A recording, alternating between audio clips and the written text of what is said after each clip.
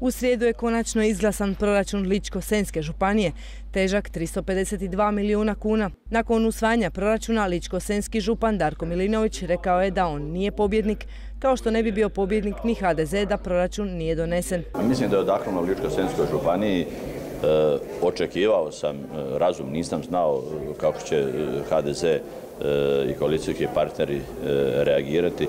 Cijelo vrijeme sam ja govorio i da su izbori bili nepotrebni, ali već kad su se desili vidjelo se stanje na političkoj sceni i evo, možda smo malo predugo čekali, ali ono što želim vrlo jasno poručiti hrvatskoj javnosti, Ličko-Senska županija neće biti slučaj. Ličko-Senska županija je, devet županija je po BDP-u iza Ličko-Senske županije. Zahvaljujem se, zahvaljujem se svima koji su podržali ovaj proračun. Rekao sam vrlo jasno, mogao bi ja sada likovati i reći pobjedio je, e, pobjedio sam, pobjedila je Ličko-Senska županija, pobjedila je danas Hrvatska i Rasu.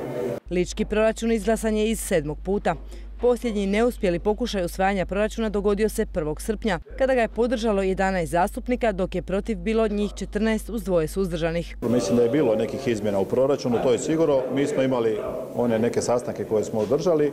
Ono što je najbitnije, što sam rekao danas ja i na Skupštini, da ovo nije podrška Darku Milinoviću, e, da je ovo podrška Ličko-Senskoj županiji i ono što je nama bilo bitno da smo dobili i garancije i od premijera naravno i od vlade ovaj, da ćemo realizirati neke stvari koje su vrlo bitne za razvoj Ličko-Senjske županije. Iz tog razloga smo podržali proračun da uz to ne bi radili i nove troškove, a samim time i jednostavno zaustavili sve ono što je dobro za županiju da se napokon investira i dođe županiju. Donošenjem proračuna izbjegnuti su novi lokalni izbori, što je bio i cilj svih političkih opcija u Ličko-Senskoj županiji.